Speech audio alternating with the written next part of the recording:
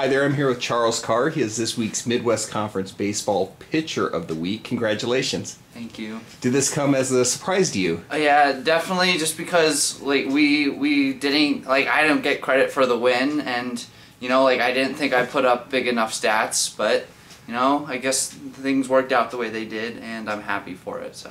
Well, talk about your your performance down there in Jacksonville, Illinois. Uh, it just felt like this is the first time that like I've pitched my potential here, and I feel like I can do even better. Like uh, some of the Lawrence guys were complaining about my the way I throw and my windup, but they could have made an adjustment and they didn't, and I was just sticking what was working, getting a bunch of ground outs and changing speeds, and it felt felt pretty good to just kind of dominate like that.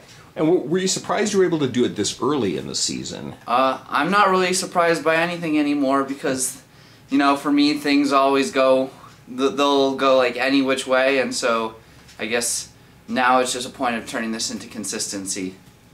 Uh, talk a little bit about uh, what you improved on the most during the off season. I think a lot of it was just attacking because I last year I was hesitant and I was nervous and I just gained a sense of confidence from playing summer ball. I just was worked on setting goals for practices and setting goals for games and then working on the things I need to wor- working on those things and then like evaluating how I did and adjusting my goals from there. And so one of the big things I've like learned was that I can, like I can throw my curveball for pretty much a strike at pretty much every time. I made a concentrated effort to work on my changeup. I think that really showed against Lawrence because I've never had a changeup work the way it did again, like it did against them. And I think also just going deeper into games. So I'm hopefully I can keep keep going longer and get a complete game this year and give the team what it needs. Oh, that'd be great. Speaking of the team, uh, obviously we've had some great seasons recently here.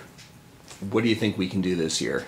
You know, I think I think we have the, an offense that can take us pretty far, and I think we have the pitching to be competitive. I think we have a really good chance to win our conference. Obviously, it's going to be a different team with so many people graduating, but we have a lot of depth, and it's time for all these guys who've never had an opportunity to show why Coach Hollibaugh brought them here. And I think, yeah, I think it's going to work out well for us.